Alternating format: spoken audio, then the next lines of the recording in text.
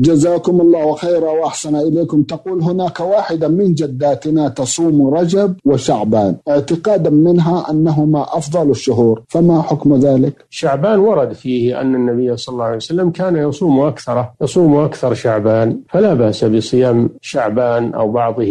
يعني اكثر شعبان او بعضه الا انه لا يكمل لا يصام كاملا وانما يصام اكثره واما رجب فلم يرد فيه شيء الا اذا صامه المسلم تبعا لغيره من الشهور فإذا صامه تبعا لغيره فلا بأس أما أن يفرده فهذا مكروه أنه لم يرد بإفراده شيء من الأدلة